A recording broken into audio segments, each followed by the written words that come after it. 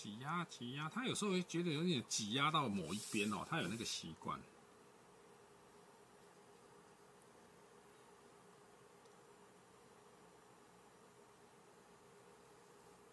这这两个笔画太接近了哦，所以就会稍微长短让它稍微分一下，我则会觉得哇，那个那个长得好好一样啊。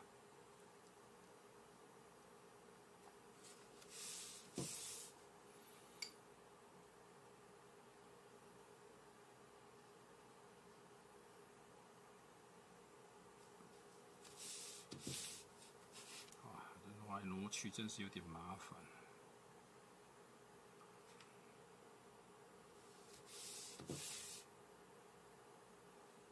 那个松啊，下一个字也许就不用那么松了啊，不要让它每个字都一样。有时候拉得开，有时候收得紧，有时候收得更紧。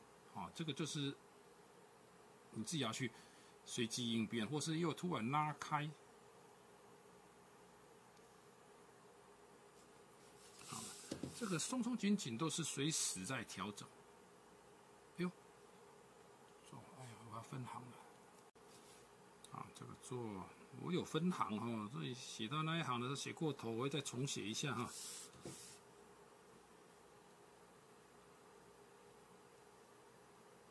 好，这写窄对不对？哎，两个都写窄了，耶，这里就可以宽了。所以写字啊，倒没有说哪里可以写窄，哪里可以写宽，而在于说你能不能去配合啊。那写重写轻，这都不是问题，看你要不要。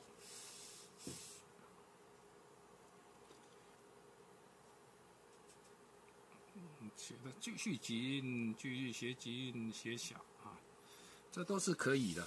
那写一写，你就要注意哦，都已经写的这么我这么夸张了，那这个就要开始做一点变化了哦。就是说不不是说一直不能拉长，也不是说怎么样，这个拉长其实都可以啊。什么时候来拉长都不成问题，而在于你跟前面那个字怎么配啊。啊，然后整体上的感觉是偏多或是偏少，线条偏多或是偏少。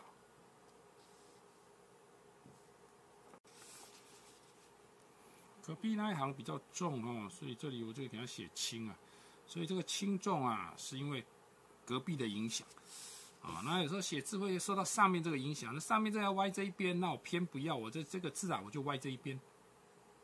哦，就说啊，他歪这边，我歪这一边。哦，我高兴怎么歪，哦，那是我的事。那如果说高兴我要穿插，那我就穿插的，穿插进去。然后如果要高兴写重，我就写重；我要写重，写轻，写重。这种就是所谓的写字节奏。那你说这样好看吗？那不知道啊。就是说在配的过程中啊，你的当下会有一种想要怎么配啊？可是配起来这样好看吗？不一定啊，真的不一定。那不一定的话，就是要靠经验。什么经验呢？临帖的经验，有很多临帖临多了，你就知道哦，原来那个书法家遇到这里会怎么写，啊，他会怎么写，怎么处理会比较好看，这是临时的经验。所以我们常常讲说，临帖非常重要，不是说，不是说一直创作啊，就是临创临创本来就是这样子。所以你看那个以前。清朝的王铎，书法家王铎，他的写就是，不管他多厉害，都是一天临帖，一天创作。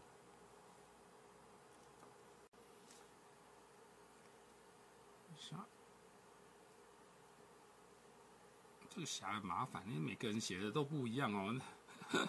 那每个人对这个侠的写法都不太一样。那上面那个大针，这这个就小吧？啊，因为有时候，诶，上面那个没翘，那这个翘的。就是要看一下上面，才决定下面啊。有时候真的没有办法自己决定，一定要看上一个字，下一个字。这个一是它的写法，那这样写比较简略。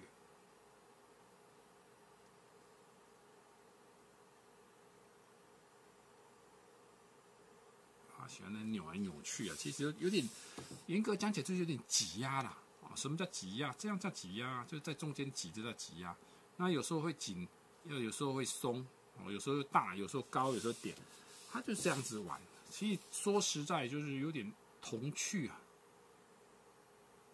好像小孩子在玩那个笔这样子，但是他的技术很好，就玩起来就有点悠游自在啊，就觉得哎呀，怎么怎么有人可以玩的这么这么可爱那种感觉。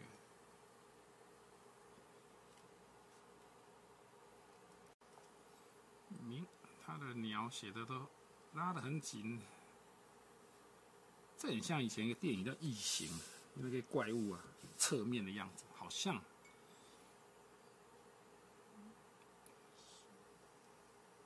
这这个地方要注意它的角度哈这个高低啊，都都都有在想啊，然后两两个都写的这样子的话哈，要开始纵横争折。开始折哈，看到人家在一一直一直软来软去的时候，就要开始小心，是不是该适可而止了？啊，是不是该来一点嗯，让人家觉得说稍微有点挺劲的？那不要每次都只有一个哦，有时候可以来连续来一个两个三个，啊，不要每次做一次都只都一个，啊，这样人家会觉得你在套公式啊。啊，如果你多几个。人家就不会觉得你套公式，因为每次都不一样。